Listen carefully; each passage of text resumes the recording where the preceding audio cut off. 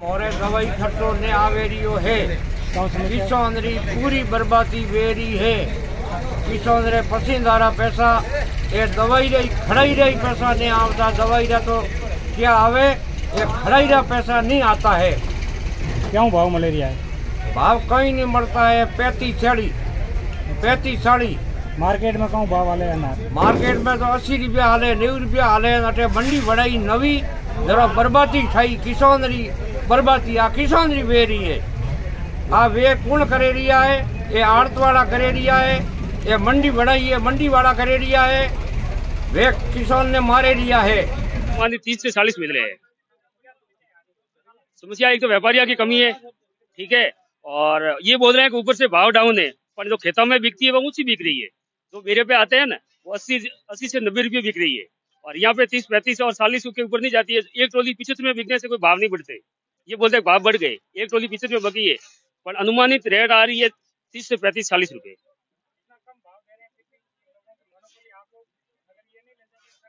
खराब हो जाता है क्योंकि ये लिक्विड फॉर्म में आता है। क्योंकि ये रख तो सकते नहीं। अनाज होता है तो भंडारण कर लेते हैं। यहाँ पे स्टोर की सुविधा तो है नहीं। और तोड़ दिया तो बेचना ही पड़ेगा। क्या करें अब? किसान जाए तो जाए कहाँ? સદતીસ સદતીસ રૂપિયા અડતીસ અડતીસ રૂપિયા અડતીસ રૂપિયા અડતીસ રૂપિયા અડતીસ અડતીસ રૂપિયા એકોણચાલીસ સરખી ને ચાચા એકોણચાલીસ એકોણચાલીસ ચાલીસ રૂપિયા ચાચા કરો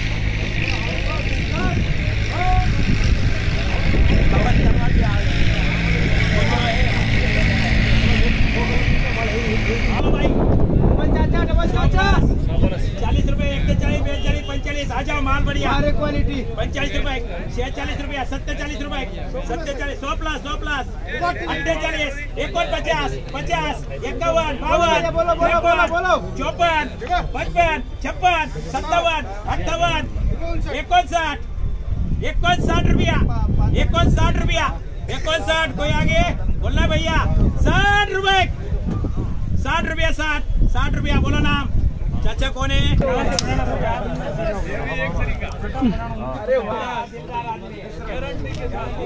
आगे आ भैया आ जाओ ज़रूरत है हमारे।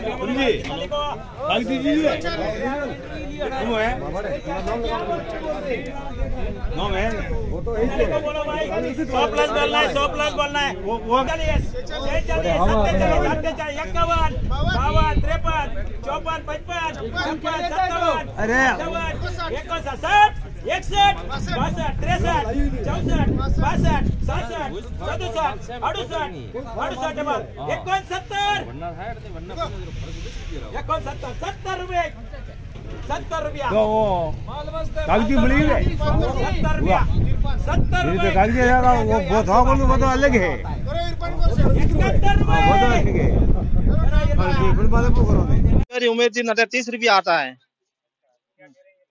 ये लोग तीस रुपया आ रहा है न खेत में वक्ती है हो रुपया लोड मारा हो रहा है अटे ये बाहर बाहर का लोग है। एमपी का यूपी का, महाराष्ट्र का। समस्या ये आ रही है कि हम बाहर खेतों से अनार लेके आ गए हैं। सुना, पहले सुनने में आया कि सौ, डेढ़ सौ के भाव आ रहे हैं जैसे अनार हमने तोड़ लिए, तोड़ के मंडी में लेके आए, जैसे तुरंत प्रभाव से भाव डाउन हो गए हैं।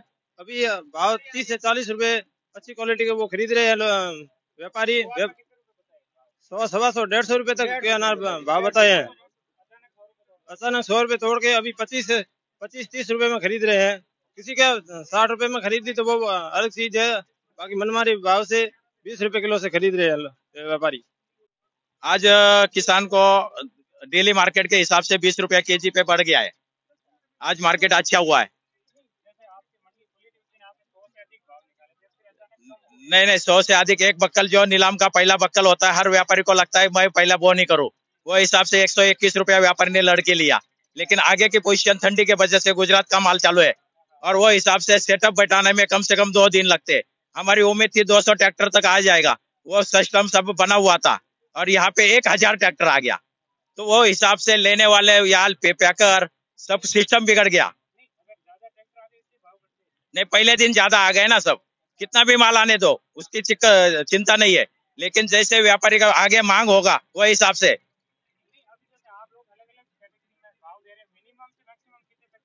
आज मिनिमम सरसगट जो सौ ग्राम के नीचे का भी लेंगे तो तीस रुपए से लेके ऊपर नब्बे रुपए तक आज भी बिका है। नब्बे इक्यासी रुपया। कितने? कितना बिका? पचहत्तर रुपया बिका है। पंचहत्तर। पचहत्तर बिका है। पूरे इंडिया में सब व्यापारी है। ये देखो साउथ वाले हैं कोई बाहर के सब इधर जम्मू वाले सब टोटल इकट्ठा हो। जाते हैं। हाँ।